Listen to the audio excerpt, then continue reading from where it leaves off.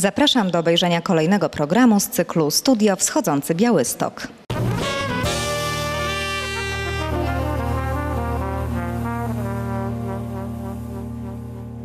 15 sierpnia obchodzimy Święto Wojska Polskiego. W Białymstoku z tej okazji zapowiada się sporo atrakcji. Święto Wojska Polskiego obchodzone jest od 1992 roku 15 sierpnia w rocznicę cudu nad Wisłą. Białostockie obchody rozpoczną się już 13 sierpnia, dniem otwartym w koszarach 18 Pułku Rozpoznawczego. 15 sierpnia jest bardzo ważną datą w historii Polski. 90-lecie Wielkiej Bitwy zwanej tak zwanej warszawskiej, a także w ten dzień ustanowione święto Wojska Polskiego. Jest to ważne dla nas wszystkich z tego względu, że ten rok jest rokiem osiągnięcia celów profe profesjonalizacji sił zbrojnych. Przede wszystkim zapraszamy na to święto, bowiem mamy rocznicę utworzenia 18 Pułku Rozpoznawczego, który się rozwija. Jest to największa jednostka w województwie podlaskim, zaprasza na Dni Otwartych Koszar o godzinie 12, 13 sierpnia, a także zapraszamy na coroczne święto, które odbywa się 15 sierpnia na placu przed katedrą o godzinie 12.30.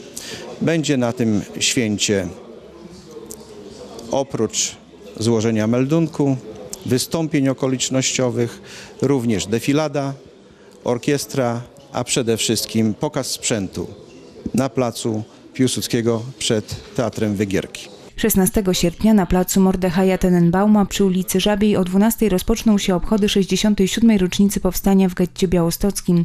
Natomiast 22 sierpnia w 90. rocznicę Bitwy Białostockiej, największej bitwy w dziejach miasta, w Muzeum Wojska zostaną otwarte dwie wystawy. Serdecznie zapraszam Państwa na otwarcie wystaw czasowych w Muzeum Wojska poświęconych bitwie o Białystok z 22 sierpnia 1920 roku i Wiktorii Niemańskiej, operacji, która kończyła jakby wojnę polsko-bolszewicką, była takim największym zwycięstwem naszego oręża, jednym z największych w tym okresie. Wystawy będą czynne od 22 sierpnia tego roku do końca września też roku 2010. Wystawy będą i w Muzeum Wojska, i przed muzeum, także jeszcze raz serdecznie w imieniu własnej pracowników na nie zapraszam. Białostockie obchody Święta Wojska Polskiego zakończy koncert z okazji 90. rocznicy Bitwy Białostockiej w wojnie polsko-bolszewickiej. Skomponowany na okoliczność rocznicy przez Włodzimierza Korcza utwór Rapsot o cudzie nad Wisłą wykona chór Opery i Filharmonii Podlaskiej pod dyrekcją Marcina Nałęcznie-Siołowskiego. Występ odbędzie się 22 sierpnia o 20 na rynku Kościuszki. Wstęp wolny.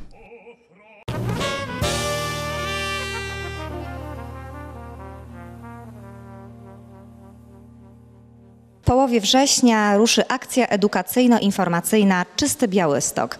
Będziemy chcieli pokazać mieszkańcom, że warto sprzątać po swoich czworonogach oraz że groźne jest dokarmianie gołębi. Przeprowadzeniem akcji zajmie się firma Good One PR z Warszawy, która złożyła najniższą ofertę. Jej koszt wyniesie ponad 30 tysięcy złotych. Firma będzie musiała przygotować m.in. spoty i filmy reklamowe, plakaty, ulotki, a także znaleźć wolontariuszy, którzy w całym mieście będą zachęcać ludzi do sprzątania po swoich psach. Chodzi o to, żeby zwrócić mieszkańcom uwagę na to, że y, należy po prostu sprzątać po swoich y, pupilach że to nie jest nic strasznego, to nie jest nic obrzydliwego, to nie jest nic takiego, co mogłoby nas w jakiś sposób e, poniżać. Akcja edukacyjno-informacyjna Czysty Białystok rozpocznie się 15 września i potrwa dwa tygodnie.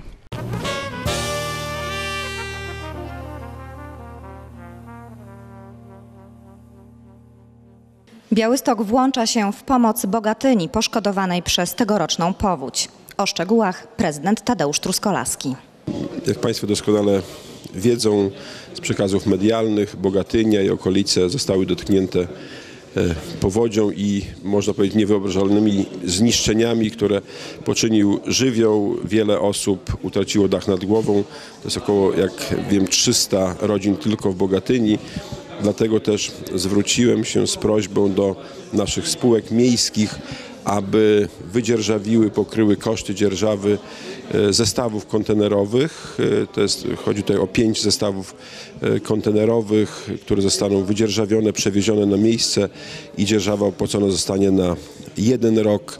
Rozmawiałem z wiceburmistrzem Bogatyni, powiedział, że ta pomoc jest bardzo potrzebna dla tego miasta. Będzie to, jak powiedziałem, pięć zestawów kontenerowych, dwie, dwa zestawy kontenerowe Miejskie Przedsiębiorstwo Energetyki Cieplnej i po jednym e, spółka Lech, Wodociągi Białostockie, a także Białostockie TBS.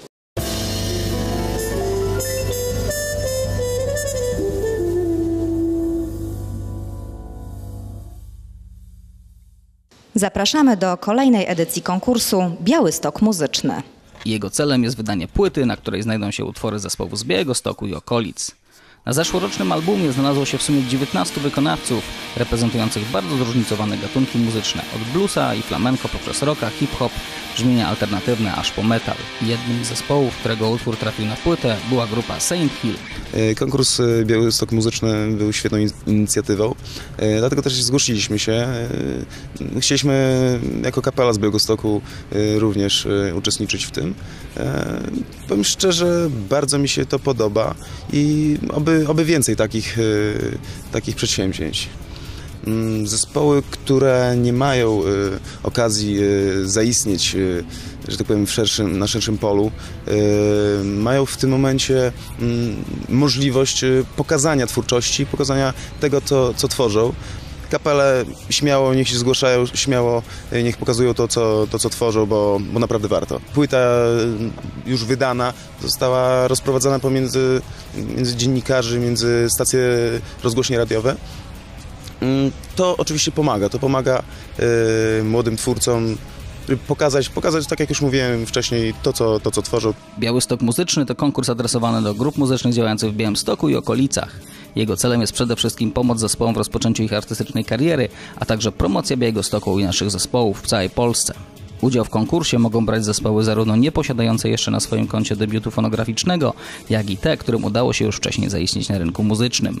Do konkursu można zgłaszać zarówno kompozycje premierowe, jak i te, które wcześniej były wydane, pod warunkiem, że są kompozycjami autorskimi. Nie ma żadnych ograniczeń, jeśli chodzi o wiek wykonawców lub prezentowany przez nich gatunek muzyczny.